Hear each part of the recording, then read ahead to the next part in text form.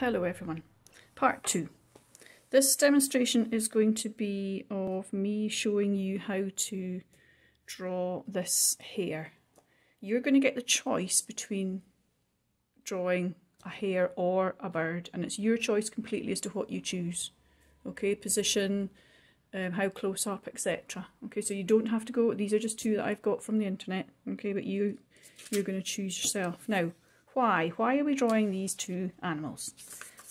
Um, what the other class are working on just now, and I'm, we're going to go back to, is looking at artists, okay, printmakers in particular, because this, this printmaking unit, your final outcome is going to be, it's going to consist of, or be composed of, a landscape, an animal, be it a hare or a bird, and a tree. It's likely we'll get the, the tree done and the landscape done when we're back in school. Okay, but for just now, I would like you to be working at home on the animal.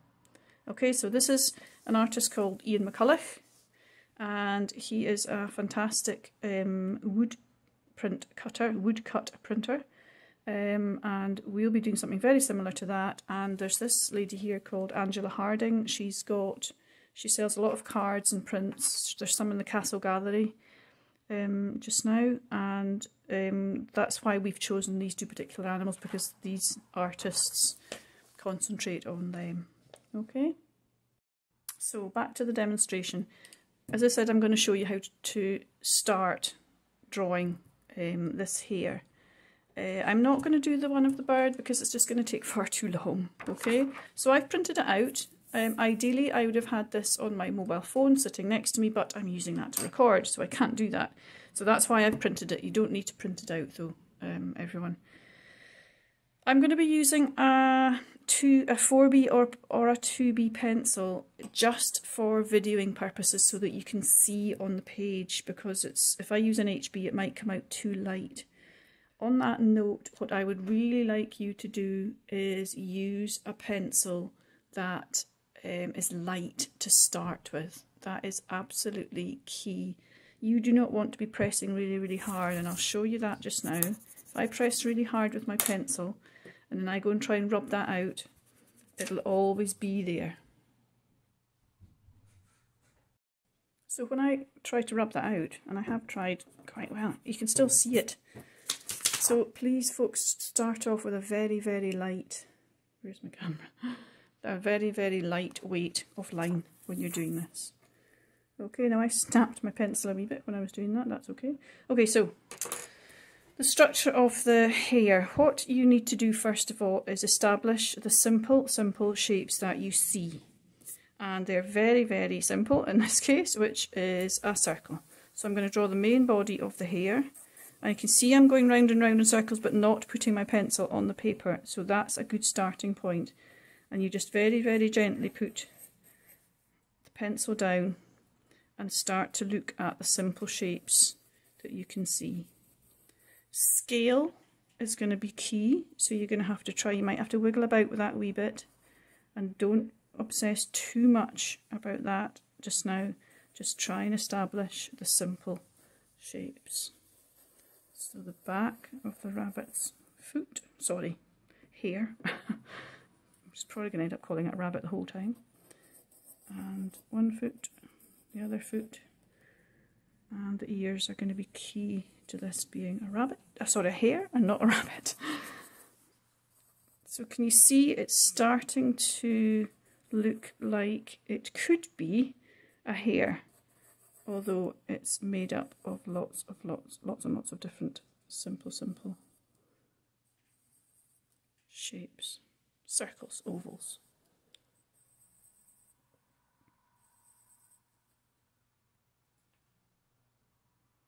Okay, so I'm going to just lift that up to the camera, we'll move it about. Not, it looks like a cartoon here at the moment, but that's okay.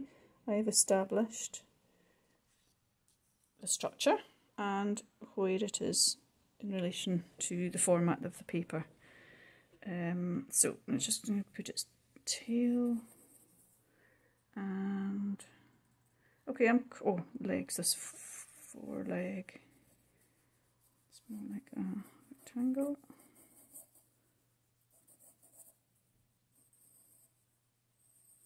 Okay, okay, I'm quite happy with that as a starting point. Next steps. I'm going to start with the head and what I want to do is establish where the eye is, where the eyes are in relation to each other. Now you can see in the picture they're pretty straight. If I draw a guideline on the actual picture, you you can do this if you've got a picture or if you've got a photograph printed. If you've got your phone, obviously you can't do that, but you could put your pencil in like so and just use that as a guide. So I know that these are quite straight, so I'm just going to draw that wee guideline in.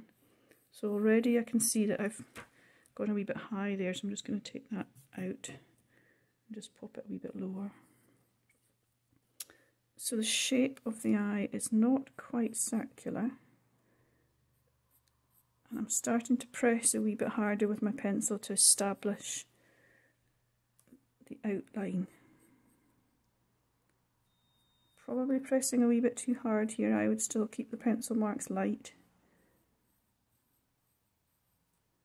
Oh, he looks quite vicious, but I don't think he's probably that vicious looking in reality, quite cute. And then you can't see the, the other eye because it's tucked round and I'm just going to go around the outside like so.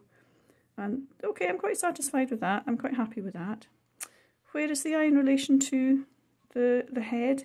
Let's start to draw that in now. So I'm going to go down the bridge of the nose. And actually what I'm going to do is just check an angle. So put my pencil on the edge of the hare's nose and I'm a wee bit out there. So I'm just going to change that angle. And this is pretty much how I do any drawings that I would be copying from a photograph. I establish the simple shapes and then next steps would be to work on the detail but use my pencil to check out angles like so okay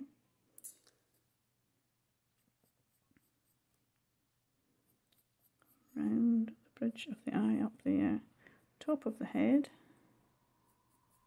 And I'm going to come round to this side. You can also do measurements. Now I've gone a little bit bigger. You can use your pencil to measure. If any of you, not sure if we did this in first or second year, but you can actually measure, you know, I could measure the distance between these two eyes and take it over and make a mark. And I know I've gone a little bit bigger than the actual photograph, but that's okay. So I'm going to dot about a wee bit here, folks, um, just trying to get the the face established. I think as soon as I've got the, the kind of the, the head and the face established, then everything else should fit into place because it almost gives them gives them the character. Round the cheek, there's a line, there's a wee line that comes down there, and that establishes the side of his cheek. All the time I am looking back at the image, the photograph. In fact, I think I'm probably looking at the photograph more than I am looking at my drawing. Now this is something we definitely would have all done in, well hopefully, in um, first or second year is a little bit of what we used to call blind drawing where I would get you to look at the whatever it was you were drawing, person, thing, and not your paper. And that is a really good fun um, and we probably will could try that when we're back in class. Gosh, that ear looks a wee bit big, but that's okay. Um, it, it gets you to really, really look at the subject closely. Because if you, a lot of, a, big mistake quite a lot of you will make is that you will glance at the thing that you're looking at and then you'll have it, you think you can remember it, and then you just draw from memory but you have to keep looking back all the time and reassessing the actual object, the actual subject that you are drawing. Okay. Now, other art teachers in the department will demonstrate this in a different way. We all have our own methods, we all have our own style, quite different, very different in fact. Um, so this really is my way. and as you're my pupils, as you lot are my pupils, you learn my way. You will eventually find your own style. Okay, so don't for one second think that this way is the way that I want you to be working all the time. But it's just a good method to get you started, okay? Now already I think I'm, I'm quite a bit bigger. If I just do a measurement like so, see how much bigger I've gone than the photo, but I'm not, I'm not too bothered about that. I just think I might run out of paper. So I am, um, as you could, as you saw in the last video, the techniques, um, I, I had my por paper portrait and it's much, much easier when you're putting videos up, especially now I've started putting them up onto YouTube. Um, it's much better it's in landscape format, as my husband pointed out to me when he was doing his videos for his pupils at Millburn. Um, it's just it's just an easier format. All videos are, are landscape format, okay? So I think I am going to definitely run out of space here, but that's okay. So coming round the body, so I've got a really good arch onto um, Mr. Hare here, or Mrs. Hare, whatever. I'm just going to get that hunch I'm conscious of time and I don't really want to go on too long, but I think you'll probably be able to get the gist of how to start drawing. Now, how to, the drawing um, the hare, and you can apply the same to the bird, okay? Um, so on that note, what I would like you all to do is pick a hare or a rabbit doesn't have to just be a hare. I've just chosen a hare because Angela Harding, the printmaker that you're going to be studying, and um, Ian McCulloch, they both have hares in their work. That looks a wee bit weird, but anyway, let's carry on. Um, can you see that? Yeah. And uh, just you find one that you think you're capable of drawing and that you like. That's really important. I like this wee guy, so that's why I've chosen him, or girl. That's why I've chosen them. Um, the bird as well, um, I'll come, I'll just bring that in in a minute. Um, so anyway, I'm starting to get a wee bit um, lost because I am chatting at the same time. It is quite difficult to talk and draw at the same time, I'll be honest with you. That's why I like silence in class when we're drawing. Not complete silence, but okay, I'm, I'm okay with that. That foot's a wee bit weird, but anyway. He looks like he's kind of leaning forward. I think he's got too much of a hunch, but as a starting point, I'm pretty pleased with that. Okay. Okay, just a closer view. Now, from this point, you can then take your techniques and grab, which I've just quickly gone and grabbed out my folder. So we did these last time. Some of you have done this, done them and sent them in. Thank you very much. Um, quite a lot of you didn't, but um, I would still like to see you having a practice of this, please, for last week's task. So I can now take some of these and start to apply them to the texture of the rabbit to give him or her hair form, okay? Three-dimensionality, because that's why we I showed you these shading techniques. We want to try and establish this dude in a kind of three-dimensional way, and that's how we can use some of these. Already I can see that I can use some of the, I could use some of this linear masking, I could use some curved cross-hatching, I could use some graduated, I could use the scissors and scraping. Um, I could eventually go around and use get on to doing a bit of frottage, but I don't want to overcomplicate it. Okay, so I would, again, what I would do is I would start in the eye. Now I know I might bring the camera down a wee bit closer. Okay, so a wee bit closer. Hopefully my pencil will not, not so close that you can't can't record it. And this is the technique. What I want to try and do in here is establish the fluffiness of the fur. So I would be using a technique that is something a bit like this. So you're doing lots of little dashes. And I'm not I'm not going to go in and do a, a solid filling in. I'm just going to, all the time, I'm going to be using this technique to give it that lovely texture of fur. Now if I go in too dark I can use my rubber, my putty rubber to take away. I can press a bit harder to get darker, I can press lighter. Um, I could also go in with the scissors and the scraping to establish an overall tone. I quite like just getting the texture down immediately. I'll leave that wee bit there because it's quite and what's really important, if you're noticing, is direction of the mark that I'm making. Can you see that? I'm going in a direction that's trying to sculpt. So I'm going to, you know, we curve, curve technique there. So it's actually sculpting and making the form of the rabbit really pop. Can you see that now? That's just a very basic start. If I thought that was getting a little bit dark, then I would come in with a wee bit of putty rubber and then just start to lift. Now I know some of you won't have putty rubber and as I said Blu Tack does work. If you're in the supermarkets then you might just want to have a look first of all for putty rubber and then go on and have a look and see if you can get, or if you can't get putty rubber get some Blu Tack.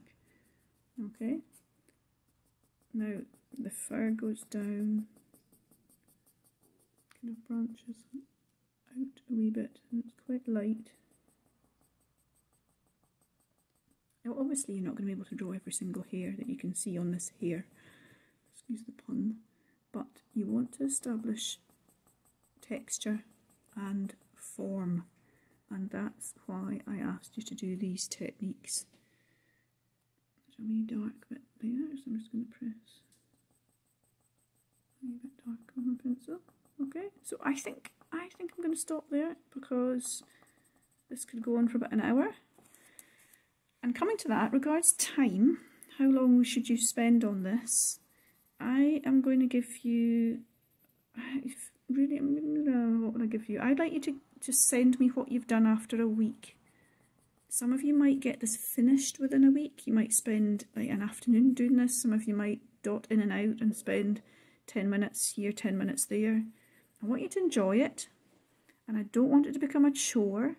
And if you are having issues or struggles or with proportion, etc., then photograph it. If you can, photograph it quite nicely, quite well, so I can see it and send it to me and I can give you some, some feedback. Okay? So I'm going to stop, otherwise I'm going to get carried away and spend the whole afternoon working on this and you're going to get bored. Okay, so just a wee close-up. Okay, there's a wee close-up of the original. Not bad. It's my character version of him, okay? Or her. And see how you get on with that. Okay, folks? Yeah, we add on, because the last video was going on too long, so I've stopped it and I'm going to just want to finish off by saying um, adding the techniques. I never spoke about that at the end of the last video. And it's really going to be your choice as to what you want to add to make this look or to make your um, hare or bird look uh, have texture and look um, have form, okay, three, look three-dimensional. So I could, I mean, let's just, a quick demo and I'll just show you if I want to kind of get some quick tone into the back of the, the hare, then I maybe just try the smudging technique. Um, and oh, I, I quite like, I know other staff in the department are not so keen on this one, um, but I quite like it to establish a quick quick value, quick to, um, tonal value.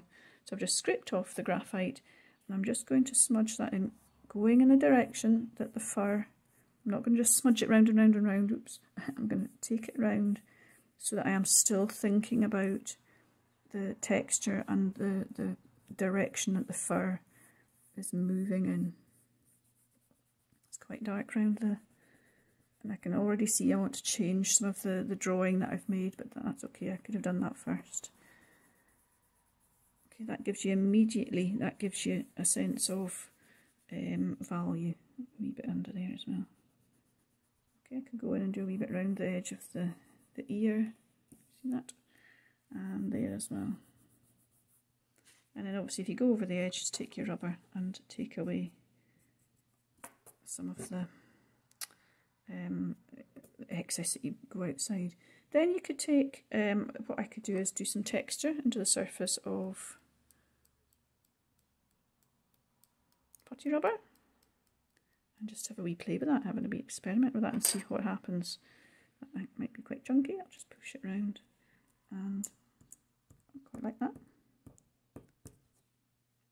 Or you could take the rubber the conventional rubber even and start to draw draw with it. You have to have a really nice sharp end of a rubber. But can you see you could start to apply some of the techniques um, and you could draw into that obviously. with that technique I was using.